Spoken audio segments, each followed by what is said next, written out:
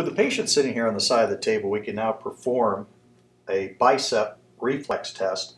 In this position, I actually use my thumb to go over and identify the tendon, and then I can strike right over the top of my thumb. It actually tensions the tendon a little bit better. I have the patient just relax their arm here, and I'm going to perform it in this position. You can see the movement there. We go back and contrast that to the other side. Same relaxing there. Identify the tendon. Again, we get the same reaction on both sides for biceps tendon.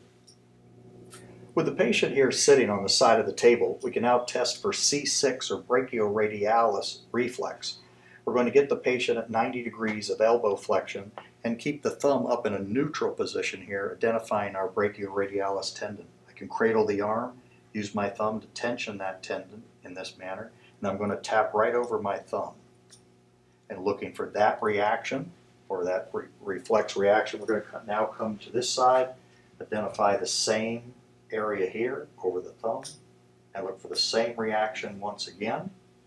And that would be our test for brachioradialis reflex, or C6. With the patient sitting here at the edge of the table, we can now test for triceps reflex, or C7.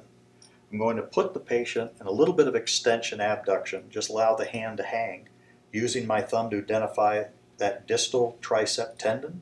I'm going to tap right over my thumb, looking for that reaction right there from that reflex. We're going to then go around and test the other side. Same position, identify the tendon, and looking for an equal reaction. We get a little bit of movement there as well, and that would be a test for our C7 triceps reflex.